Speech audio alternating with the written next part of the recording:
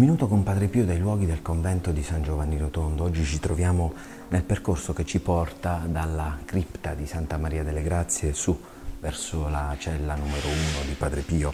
Oggi qui perché vogliamo leggervi uno stralcio di una lettera che Padre Pio scrive nel 1914. Aveva 27 anni, si trova a Pietrelcina, la sua Pietrelcina, ehm, terra natale che lo accoglie in questo periodo particolare della sua vita, eh, dove purtroppo una strana malattia lo costringe eh, a stare a casa, ecco, con i suoi genitori, come ci racconta eh, queste, queste, immagini, queste foto, ecco, che raccolgono un po' tutta la vita quotidiana di Pietrelcina, eh, i suoi luoghi, la torretta, la casa del fratello Michele, poi i vari luoghi che lo hanno visto protagonista insieme al suo caro Don Salvatore Pannullo, la chiesa di Sant'Anna, ecco, il fonte battesimale dove è stato battezzato. Oggi qui perché vogliamo eh, leggervi uno stralcio di una lettera che lui scrive da Pietrelcina il 10 luglio del 1914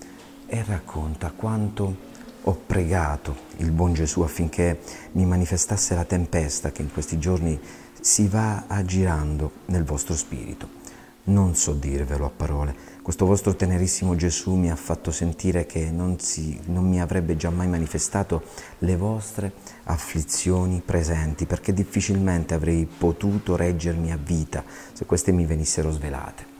Solo Gesù mi ha fatto sentire il motivo in cui vi ha mandato questa nuova afflizione. Ahimè, Padre mio, che cosa si è scaricato su di voi?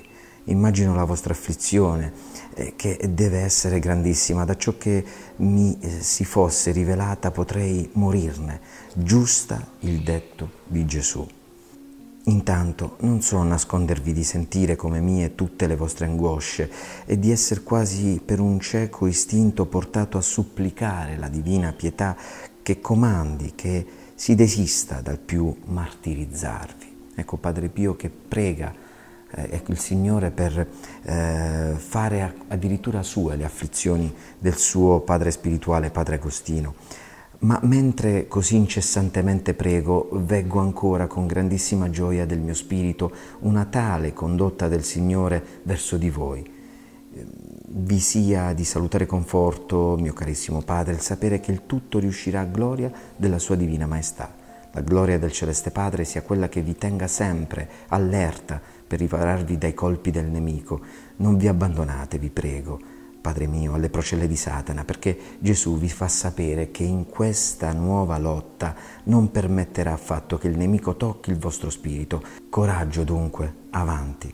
Gesù vuole con questa prova fare solo un bucatino al vostro spirito, perciò siategliene sempre grato.